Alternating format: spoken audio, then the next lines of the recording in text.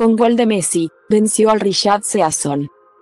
Paris Saint-Germain, con gol de Lionel Messi, venció 5 a 4 al Riyad Season, un equipo de Arabia Saudita dirigido por Marcelo Gallardo que contó con futbolistas del Al Nassr y Al Hilal.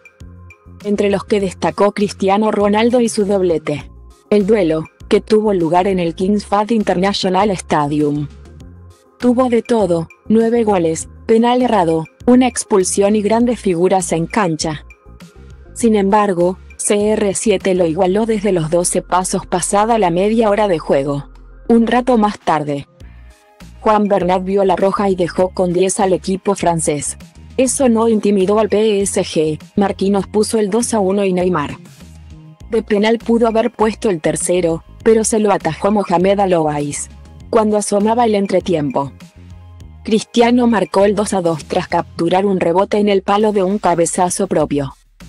A los ocho pies del complemento, Sergio Ramos le devolvió la ventaja a su equipo. Pero tres minutos más tarde, Jeon So Hang de cabeza tras un córner del Piti Martínez puso el 3 a 3. Antes del cuarto de hora. Kylian Mbappé convirtió su penal y, a los 33 pies, Hugo Ekitike amplió a 5 a 3 el marcador. Parecía que sería el resultado final pero apareció Anderson Talisca para poner el 5 a 4 definitivo.